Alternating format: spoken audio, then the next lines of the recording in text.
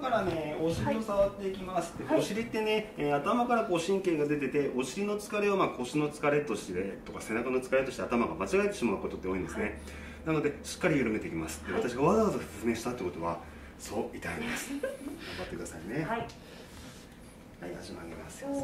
ここ。ああいったこれこれはい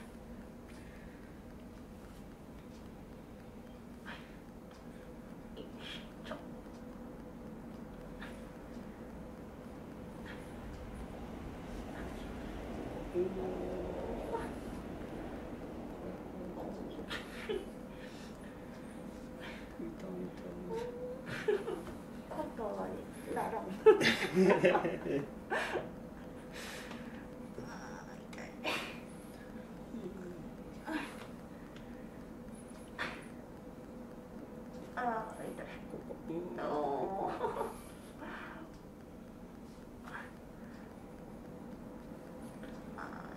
やば。やばい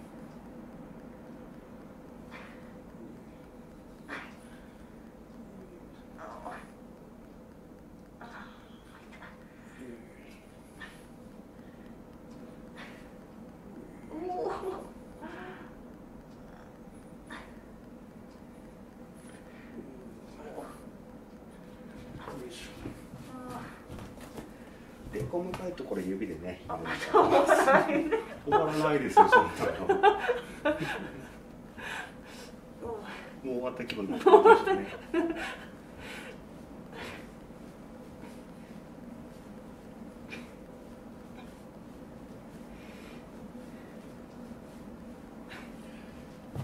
では反対側触っていきますよ。はい、足戻します。ちょっと待ってね。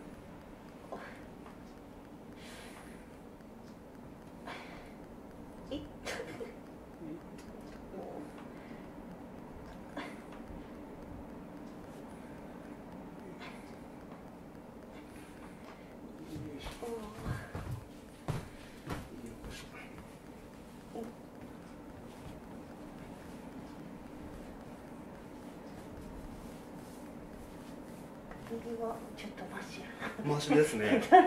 左に比べると、ま、全然マシですね、はいでは、えっと、こちら側を上にして横向いて寝てもらえますか？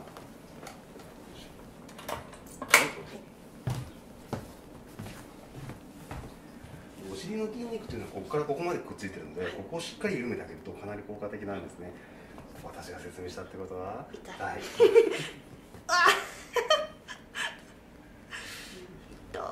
いやばい痛い痛い痛い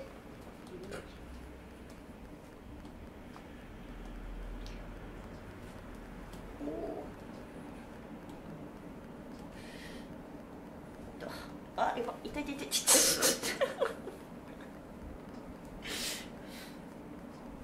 お痛い痛い痛いあ、あそこ気持ちい。いなでも痛いな。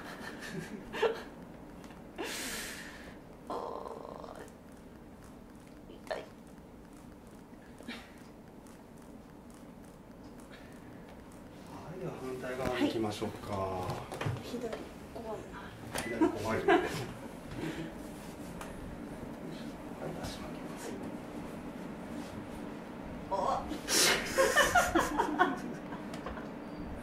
痛いと人間笑っちゃうんですよね。痛い痛い痛い。痛い。痛い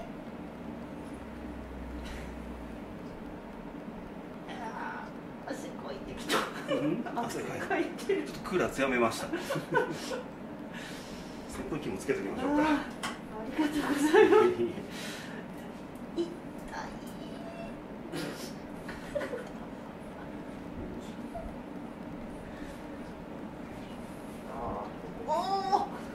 い痛すぎる。あー。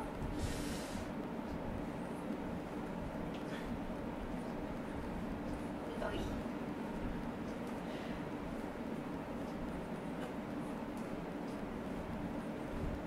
はい、では下向きになって休みましょうか。うつ伏せ、うつ伏せ。あー。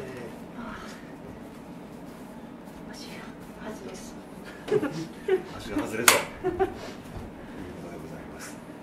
あ